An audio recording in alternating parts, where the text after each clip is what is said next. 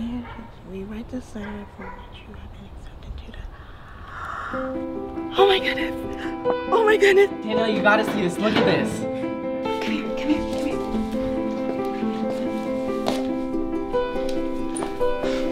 okay. How have you not seen that yet? Congratulations. Thank you. Start from beginning. Tell us everything. Okay, so I can't believe it. What is it? You gotta be kidding me. That's great. Hey, come here. You gotta listen to the story. I have something to show you.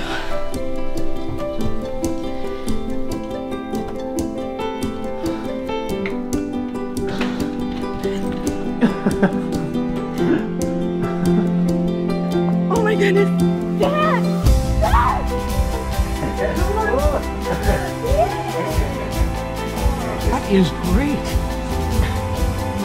We're getting this tonight.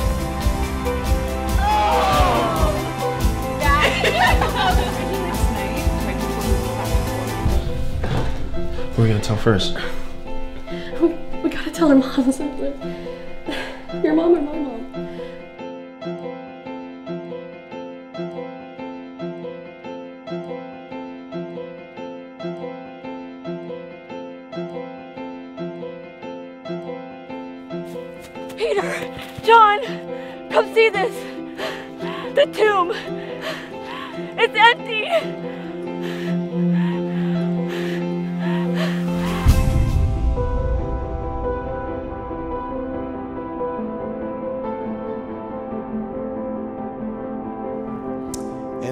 Good news is that the tomb is empty, that Jesus really is alive, uh, that he has resurrected for us, and that we have victory because of that. You just sang about that just a little bit ago, which we praise God for that. Listen, if you're watching online, we welcome you here uh, into our discussion today. If you're in the parking lot, there we go. I heard him out there so honking. And for those of you who are in person, we are so glad that you're here with us today. Uh, I remember a few, um, uh, a while back when we didn't quite have this. Uh, we'll talk about that here in just a second. So it's exciting for us to all be together today in some way, shape, or form. I realize this is spring break for many people. So we got some people watching online, uh, maybe even in the cars or driving.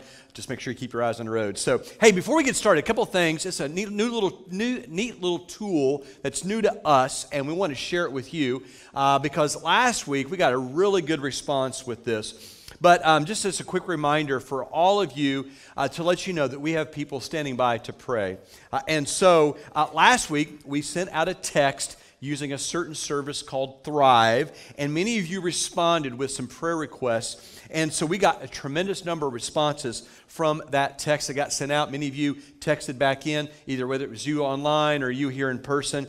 Uh, and so people asked for prayer for tons of different things from vision loss, for healing, for a variety of physical ailments, from cancer to kidney disease, uh, patience in dealing with family members, business issues, and just kind of navigating all the ups and downs of life.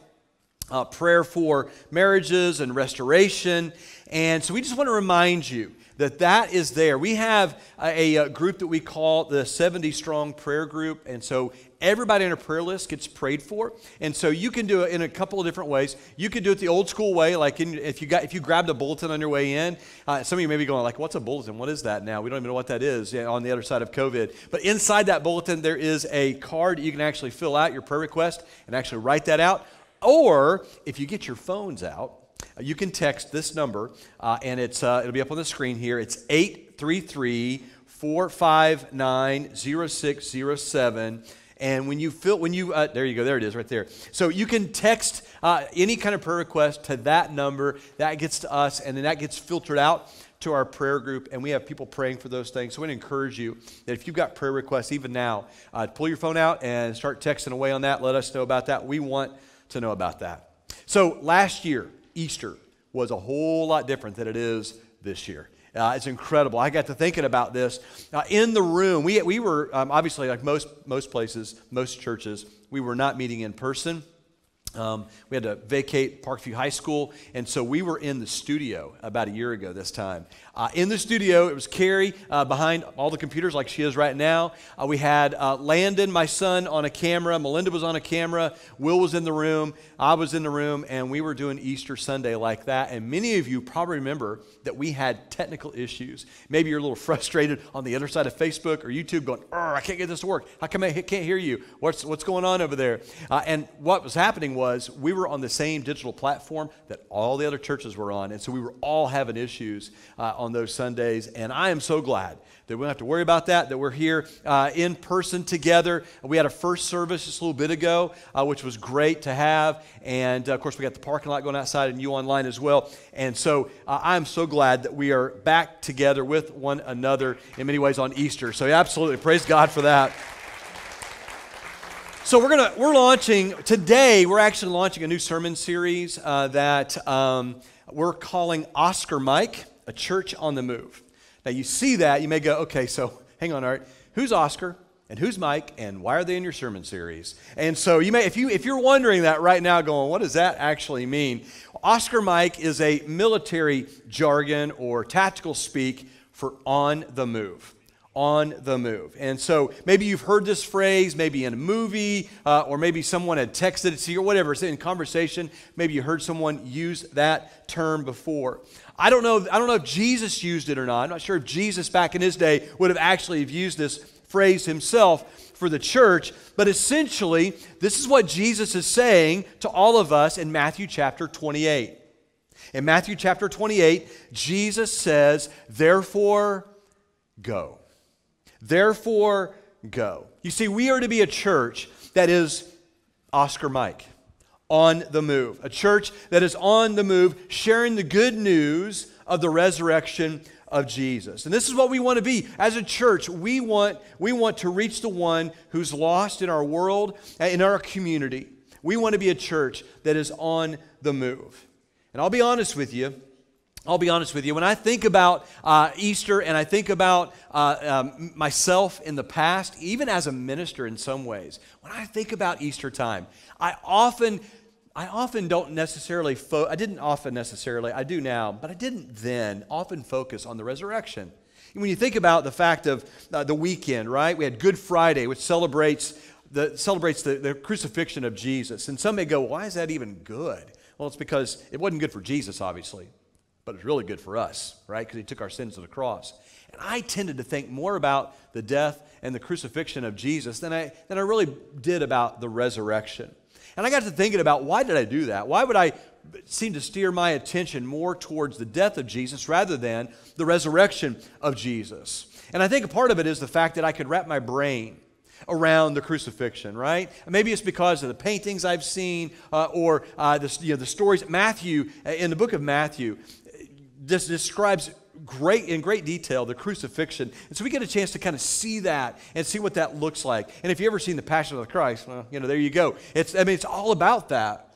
And so i tended to focus more on that. I guess in some strange way uh, i could i could really kind of lean into and really kind of uh, relate i guess in some ways to the crucifixion of jesus. Because i am a sinner, right? Saved by grace. And so, therefore, my sins put Jesus on that cross. And I could kind of understand that a little bit. I could wrap my brain around that. But the resurrection was a little tough. I guess in some ways, and it's going to sound weird, but the death, uh, the death of Jesus and the crucifixion of Jesus was, it seemed to me, even though death may not seem natural, it was more natural. And the resurrection, well, that seemed a little bit more supernatural. And that was hard for me to wrap my brain around that Jesus rose from the, the dead. Even though I knew it, I knew that he did. And I know both those things are important. And I'm not saying the death of Jesus is not important, it absolutely is important. It is important that our sins are taken to the cross and nailed there, right? We, we, we, that's an important piece. But today, as we think about the resurrection of Jesus, I want you to think about this. For the first century hearer, for the person way back in Jesus' day, it wasn't the crucif- crucifixion of Jesus that drew them uh, to Jesus. It was the resurrection of Jesus that drew them to Christianity. It was the resurrection of Jesus that caught their attention. They had, they had all seen or had at least heard about people that had been crucified by the Romans. That, that, was, that was kind of not necessarily common, everyday type stuff, but they had seen that kind of thing before. But who had ever heard of anybody resurrecting from the dead prior to Jesus? Who had ever heard of that before? And so the resurrection of Jesus is a game changer. It's a, it was a game changer for everyone back in those days, and it's a game changer for us. In fact, people became followers of Jesus based solely on eyewitness accounts of people that said, No, no, no, I saw Jesus. He was on the cross, he died, and no one walks away from a Roman cross. I'm convinced that's why Jesus died the way he did, because it was for sure he was dead.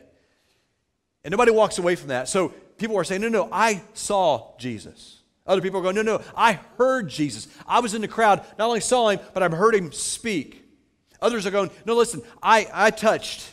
I touched his hands. I touched the nail marks. I know that that was Jesus. And other people said, hey, listen, I watched him eat. He ate some fish, and no ghost eats fish. And so people were, eyewitness accounts, people were coming to Jesus based solely on those accounts that they had seen Jesus resurrect from the dead. And the Apostle Paul writes this in 1 Corinthians chapter 15, starting in verse 3. He says, For what I received, I pass on to you as first importance that Christ died for our sins according to the Scriptures, that he was buried, that he was raised on the third day according to the Scriptures, and that he appeared to Cephas. Will, when he read this, in his opening uh, address to all of us, his announcements, he said this was this is the Apostle Peter right here. This is the Aramaic uh, term for the Apostle Peter. And then it says, then to the 12. And after that, he appeared to more than 500. Think about that more than 500 brothers and sisters at the same time, most of whom are still living. In other words, you can go back and you can go ask them if you want to. He says, though some have fallen asleep, some have passed away. And then he appeared to James, that's the half brother of Jesus, who at the time when Paul was writing this letter was the leader of the, of the church in Jerusalem, and then to all the apostles.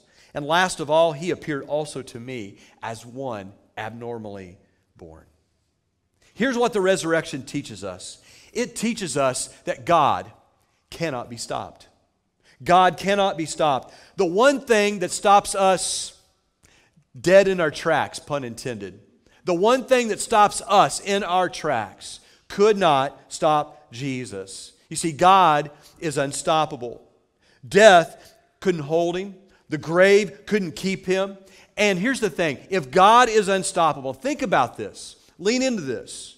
If God is unstoppable, then so is his church. So is his church. In fact, middle, maybe three quarters of the way through ministry, Jesus sits around with his disciples and says, Who do people say that I am? Apostle Peter raises his hand. He says, What do you got, Peter? He says, You're the Christ, the Son of the living God, my Lord and Savior. And he says this Jesus says this. He says, I tell you that you are Peter. And Peter's name meant rock. But he says, on this rock, thinking of himself, on his body, on what he was about to do, he says, I will build my church, and the gates of Hades will not overcome it. You see, a resurrected Jesus is the rock on which his church is built. And so today, today, as we do every Sunday, um, and maybe we should say as Christians, as we do or should do every day, we celebrate a risen Savior. That's why the resurrection is so important for all of us. So, what I'm going to do in just a little bit of time that we have together today is I want to kind of track the movements of our unstoppable God. All the way from Saturday before Palm Sunday to Easter Sundays, we call it, or Resurrection Sundays, I like to call it, because our God is Oscar Mike. He was Oscar Mike 2,000 years ago for us, and he's on the move even now for each and every one of us. And I want us to track his movement. So, it's Saturday. It's Saturday night, and dinner is being given in, an, in honor of Jesus. Because a few days before, Jesus had raised a friend of his by the name of Lazarus from the dead. Lazarus had been dead for four days. He was in the tomb. In fact, his sister says, Don't open the tomb because There's probably a smell that's about to emanate from that. Jesus rose him from the dead. This would be a foreshadowing of what Jesus would do for all of us. And so that Saturday night, Mary and Martha are throwing a huge dinner party for Jesus. And it's in the middle of that party, it's in the middle of, of, of what is going on, that Mary takes about a pint of pure nard, an expensive perfume, John says in chapter 12, verse 3. And she poured it on Jesus' feet and wiped his feet with her hair, and the house was filled with the fragrance of the perfume. Judas Iscariot objects. His heart and his attentions are exposed. And Jesus says to him, Leave her alone. It was intended that she should save this perfume for the day of my burial. You will not always have, or you will always have the poor among you, but you will not always have me. And with those words, Jesus ever so slightly reveals his plan that he and the Father had previously set up many, many years ago, all the way back in Genesis chapter 3. And Jesus is Oscar Mike. Jesus is on the move, heading resolutely toward the cross and the empty tomb. It's Sunday, the next day, Palm Sunday, as we call it. We celebrated that last Sunday the triumphal entry, if you will, of Jesus into Jerusalem. The crowd is excited, sparked by all the miracles, but in particular, out in front is the miracle of Lazarus being raised from the dead. That caused a huge buzz all around in Jerusalem and in, in the surrounding areas. And so the crowds of people line up to meet Jesus, and they line up with palm branches in their hands. Because back in those days, those days, palm branches were often used to celebrate victories.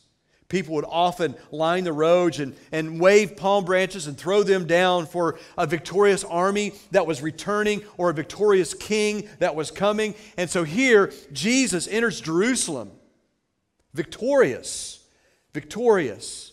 And the people, as Jesus is, is riding in on this donkey, are shouting, Hosanna! Blessed is he who comes in the name of the Lord. Blessed is the King of Israel. And so Jesus rides towards the cross on a donkey. He rides towards the empty tomb on a donkey, fulfilling Zechariah chapter 9, verse 9. But he also comes as a king of peace. You see, that, that's what a king riding on a donkey symbolized. If he had ridden on a horse, it would have meant that he's there for war and battle. But he comes on a donkey. But there's more here than meets the eye. There's more, more to this whole donkey uh, riding thing that meets the eye because Jesus, Jesus is on the move to bring peace, not just to the city of Jerusalem, but to bring peace to us, between us and God. He's here to bring peace between all of us and, and, and the Father that is in heaven. In fact, Isaiah 53, verse 5, simply says this But he was pierced for our transgressions, he was crushed for our iniquities, and the punishment that brought us peace was on him. But not everyone was excited. Not everyone was holding a palm branch. Not everyone was celebrating. The religious leaders looked for a way to kill Jesus. In fact, writer Russ Ramsey puts it this way If Jerusalem was a beehive, with his, with his triumphal entry, Jesus had hit it with a stick. You could hear the buzz grow as the anger within got organized. His kingly arrival was a strong declaration about his authority over all the conventions of man. But none of this surprised Jesus. He knew this would happen. This is Jesus. He's on the move for us, he's heading decisively to the cross and the empty tomb for you and for me. It's Monday. It's Monday. Many experts believe that this is the day that Jesus cleanses the temple. The temple had become more of a money making operation than it had a place to meet with God, a place to worship God. Roman coins were exchanged for temple shekels, animals were sold for sacrifice at exorbitant rates, and money was being made hand over fist for the religious leaders and the, and the, and the little power brokers that were involved with the temple. Jesus had cleansed the temple earlier on at the front end of his ministry, but things really hadn't changed much as he comes back in another time, here towards the end of his ministry. Jesus is Oscar Mike. He's on the move to right the wrongs that he's witnessing in his father's house.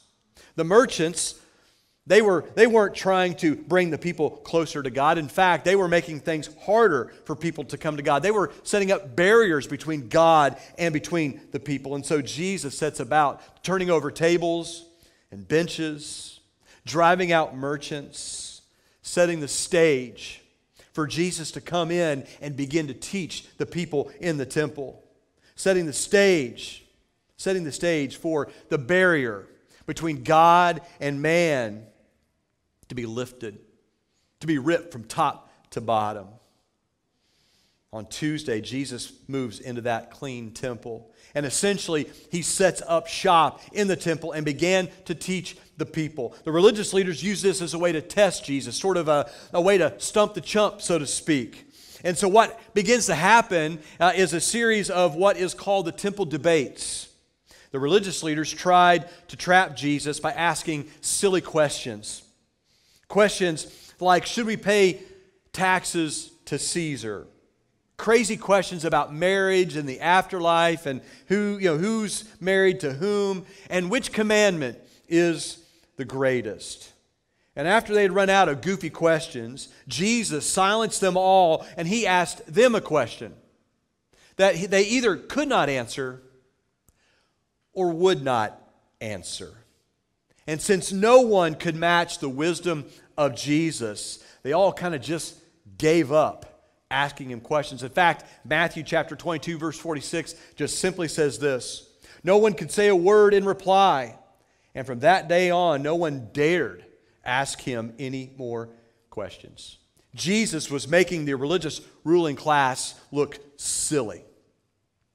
All they wanted, they just simply wanted Jesus to go away, to be gone. But then, in the midst of all this going on in the temple, Jesus peers into the hearts of these religious leaders, of the people that are there trying to trap him, and he delivers powerful indictments upon them. It's what the Bible calls seven woes. And so Jesus, one after another, almost like a fire hose or a waterfall of all these indictments just coming upon the Pharisees and the teachers of the law. And this is what Jesus said Woe to you! Woe to you, you teachers of the law and you Pharisees, you hypocrites. And he begins to call down upon them, all, uh, call them on, on all their sinfulness and on all their duplicity that they had. But in some ways, when we think about it, when we kind of read it from the passage, we also realize that they weren't really the only ones in the room. That in some way, in some ways, I was in the room. In some ways, all of us were in the room as well. You see, in just a few more days, Jesus would be Oscar Mike. He would be on the move toward the cross. And not only would he die for the religious leaders and the Pharisees and everybody in that room that would literally put him up on the cross, but he would die for all of us, for all of my sins and all of my hypocrisies, for all of your sins and all of your hypocrisies. He would die for all of us. And what's interesting and what's telling about Jesus is at the very end of those seven woes, as he is delivering all of these indictments against them, and they really can't stand against them. I mean, it's just one after another after another with all this truthfulness. At the end of it all, Jesus gives us a quick peek into his heart and into his grace and into his love when he says this He says, Jerusalem, Jerusalem, you who kill the prophets and stone those sent to you.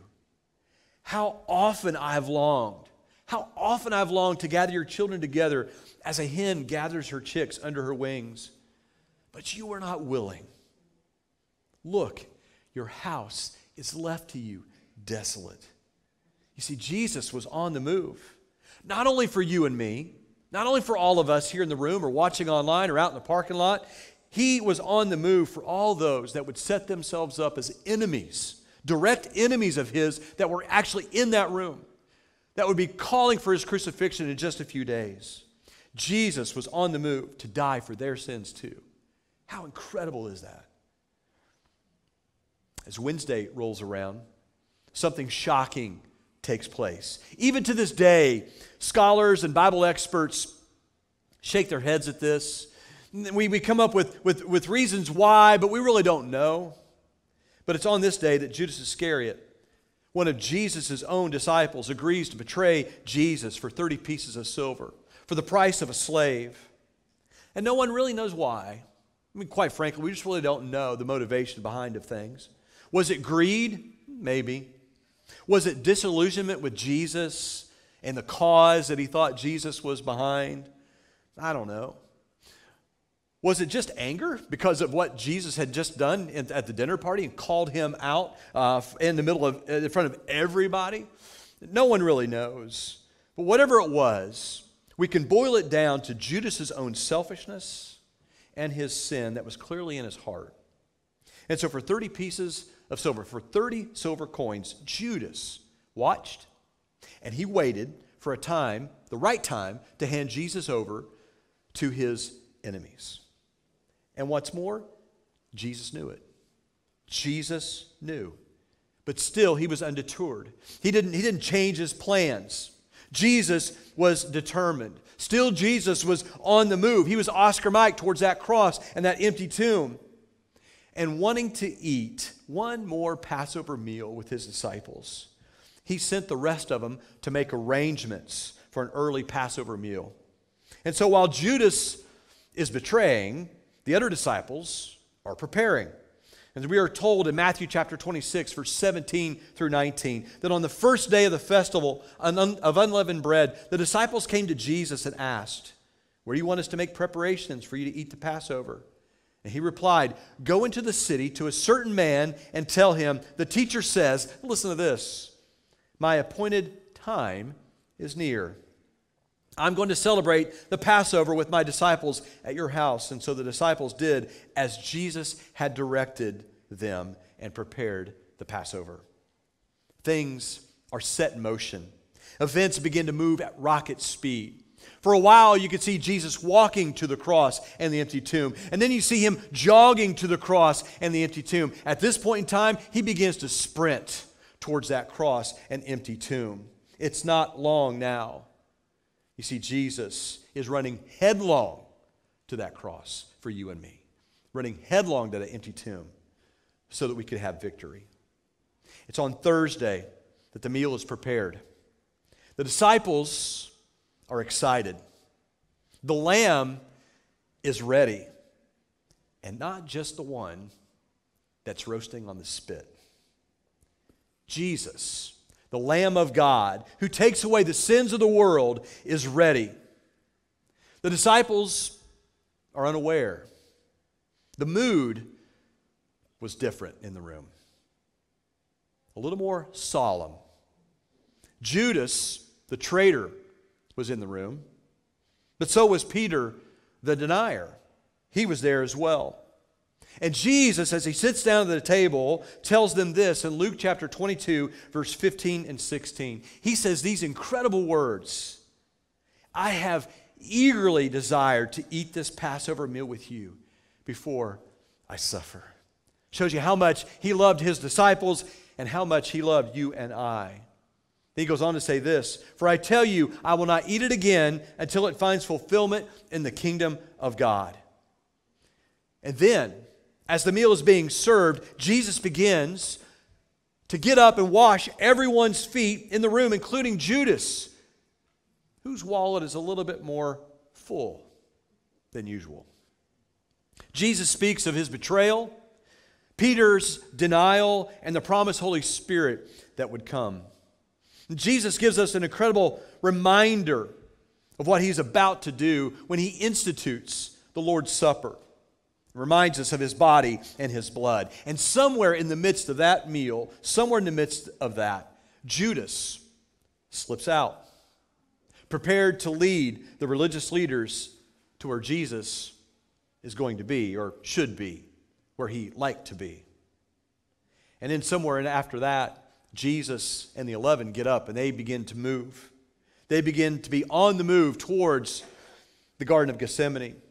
Jesus is Oscar Mike to the base of the Mount of Olives. While they're there, the disciples sleep. Jesus prays, and Judas leads. He betrays Jesus with a kiss. And Jesus is now on the move towards the cross and the empty tomb with a detachment of over 200 soldiers around him, arresting him, leading him. It's early Friday morning. Jesus is put on trial. Fingers are pointed, faces are angry. Jesus is slapped, questioned, lied about. But more importantly, and maybe even more surprising, Jesus is silent. He is silent, fulfilling Isaiah 53 7. He was led like a lamb to the slaughter. And as a sheep before its shears is silent, so he did not open his mouth. You see, this was supposed to be our trial. People were supposed to be pointing fingers at us because of our sin. But Jesus took our punishment, He took our sins upon Himself. And so while Pilate is washing his hands, Jesus is led away to be crucified on our cross for my sin. Jesus is Oscar Mike up the Via Dolorosa. The crossbeam is heavy, and he can't carry it. They pull someone out of the crowd, Simon of Cyrene, to carry it the rest of the way. And on Good Friday, not good for Jesus, but good for us, on Good Friday, Jesus is nailed to the cross, and he pays for our sins in full. Tetelestai, he says, it is finished. The debt has been paid. Your debt, my debt, my sin has been paid for. Tetelestai. Jesus is dead. Blood and water flow from his side. Part of his mission has been completed. There's an earthquake and the veil in the temple that separated God from man is torn in two from top to bottom. Not bottom to top, but top to bottom.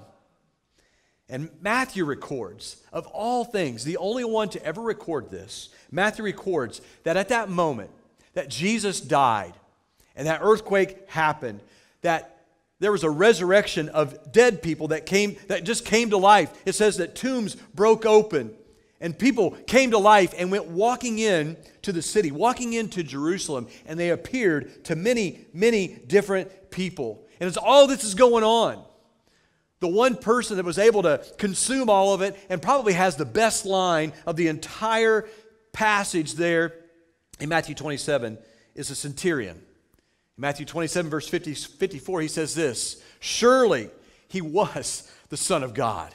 Pretty perceptive. Jesus was on the move. He was Oscar Mike for you and for me. But the story doesn't stop there. Saturday night, yes, there is questions. Saturday night, there is pain. Saturday night, there is disillusionment with what just took place. But it's Sunday. On Sunday, a day much like today, Jesus rose from the grave. Death couldn't hold him, death couldn't stop him. Jesus was Oscar Mike once again and walked out of the tomb fully alive. Fully alive. Sin, sin had been defeated on a Friday, and death had been defeated on a Sunday. And the angels at the tomb declare in, in Luke chapter 24, verses 5 and 6 they say, Why do you look for the living among the dead? He is not here, he has risen. He has risen. You see, Jesus was on the move. He was Oscar Mike for you and for me, not just to the cross, not just to the cross, but to that empty, borrowed tomb. Throughout history, Jesus has been on the move for you and for me. Jesus has been, whether you know it or not, whether you realize it or not, Jesus has been on the move for you. But not just for you, for your friends, for your family, for your classmates, for your coworkers, for everyone that you rub elbows with. Jesus ran to the cross, walked out of the tomb, and somewhere along the way, and, and, from that event 2,000 years ago, somewhere along the way, someone was Oscar Mike to you and walked up to you and told you about the resurrection of Jesus. Somewhere along the way, someone shared with you the simple gospel message. That message has not been broken from that event 2,000 years ago, where people are saying, No, listen, I saw Jesus raised from the dead. I watched him. I saw him. I heard him. I was in his presence. I can tell you, for a matter of fact, that Jesus is alive. From all the way back then to now, that message has not been broken. The message of the good news of the resurrection of Jesus has been given to us today. And if you have never heard that before, if you're online and you've never heard that before, welcome to the club. Now you have. Now you have. That is the gospel. Someone was Oscar Mike for you and me and shared with us the gospel message. Question is, what would it look like? Think about this for a second. Dream with me just a bit. What would it look like if we were Oscar Mike with the simple gospel message for someone else? What would that look like? What would it look like if, as a church, we were on the move with the simple gospel message? What would it look like if our message to our friends and neighbors and coworkers and classmates and everybody that we rub elbows with was the same as that of the angels there at the tomb? He's not there. Jesus has risen.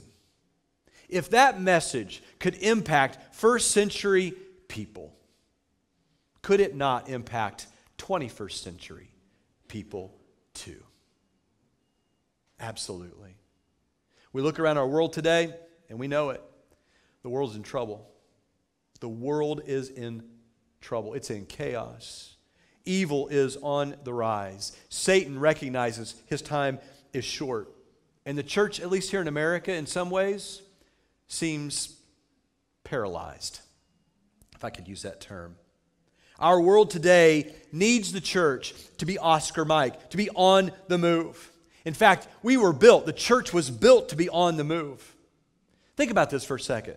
We have an unstoppable Savior. We have an unstoppable Savior who has given us an unstoppable message. And when the church is on the move, the church much like our Savior, much like our King, is unstoppable. I will build my church, Jesus says, and the gates of hell will not prevail against it. Church, we need to be Oscar Mike. We need to be on the move. Now, more than ever. Now, more than ever. As we prepare for a time of communion, you should have had that on your chairs. If you don't, raise your hand. We'll make sure that one gets to you. But as we prepare for a time of decision and communion, we're reminded, we're reminded of the incredible power of our Lord and Savior Jesus Christ, uh, who took our sins upon himself uh, and uh, took them to the cross. When we look at that bread, it reminds us of his body and what he did for us in the body. And when we see the cup, it reminds us of his blood that was poured out for us, that blood that washes away our sins. And so today, as you partake of these emblems, as you partake of these emblems, and you are reminded of what Jesus has done, and you think about that, also, would you do this as you spend some time with him in prayer? Would you thank him? Would you thank him for his sacrifice? For you and for all of us? Would you thank Him for His great love that He has for you? Would you thank Him for His resurrection power that He has for you? If God can resurrect from the dead, is there anything that He cannot do? I want you to thank Him. Thank Him for being Oscar Mike for you, for being on the move for you. Listen, He can make all things new. All things new.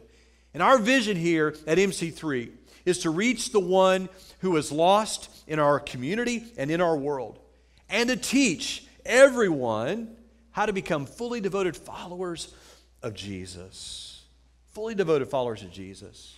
Now, maybe some of you in the room are going, I've already, I've already accepted Christ. You know, this is my first rodeo. I've, I've been around, I've, I've seen a lot of Resurrection Sunday. So we got, a, we got something we want you to help us with. We got this new tool. We want to put it to good work and good use for ourselves. So we want you to get your phones out real quick. If you've got your cell phone, if you've got one of the modern modern day technology cell phone things, I want you to pull that out and I want you to text. If one of these, if you fall into one of these, I want you to text to us. Because here's the thing: some of you may have a relationship with Jesus right here, whether you're watching online or in the room. Some, though, may not. Some of you go, I've, I've never made that choice. I've never accepted Jesus as Lord and Savior. I've never really walked down that road. I just kind of dabbled with it. And some of you may go, listen, I've got, I've got a ton more questions, you know, for you before I, I, I take the deep plunge. I've got a ton of questions. Then we want to help you out with that. And you can get a response from us uh, just with some key words that you text. If you already have a relationship with Jesus, we want to know it. I mean, you may go, well, you know me, or you know who I am. Absolutely. But I, we, want you to, we want you to share that with us. If you'll just text uh, to this number, 833 459 0607, if you'll just text the word relationship uh, to let us know that, hey, I've already got a relationship with Christ. We just want to celebrate that. We just want to celebrate that with you.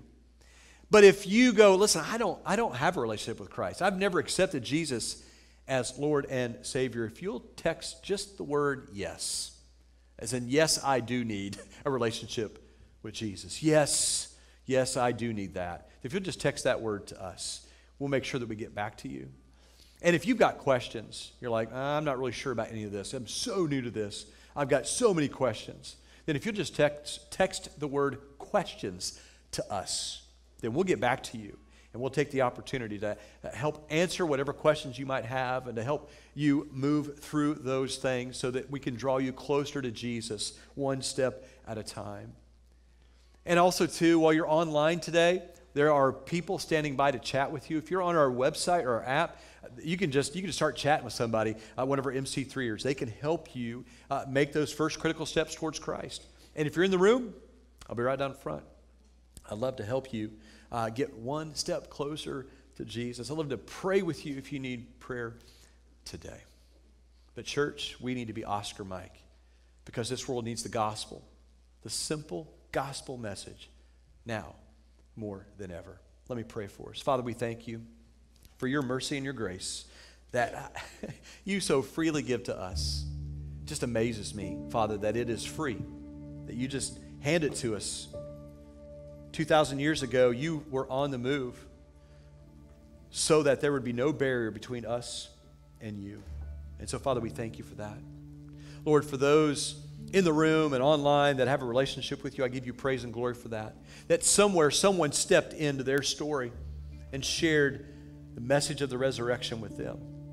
Father, for those that may not have had that opportunity yet, that may not have had someone step into their story, Lord, I pray you'd help us to do that. Lord, for those that, that we know, whether they're family members or coworkers or whoever it might be, for those that we know that don't know you, Father, I pray you'd help us to be able to reach them with just those simple words that Jesus has risen. And so, Father, I pray that you just bless us, Lord, as we strive, as we strive to reach the one that's lost in our community, in our world. And I pray, Lord God, as, as, as a church, Lord, that we'd be on the move, that we wouldn't get stuck in the mud, that we wouldn't just get mired down by our own selfishness and get mired down by things that don't matter, but yet, Lord God, that we would be on the move so that we might impact lives and might bring you glory. And so, Father God, we pray that today, Lord, that if someone in the room or online needs you, that you would lead them, Lord God, in that. That they would, they would find the right person, ask the right question, and for those, Lord God, that, that already know you, Father, I pray you continue to draw us closer and closer to you and use us, Lord God, in ministry. We thank you, Father, for this time. Thank you for your great love. Thank you for your resurrection. It's in Jesus' name that we pray.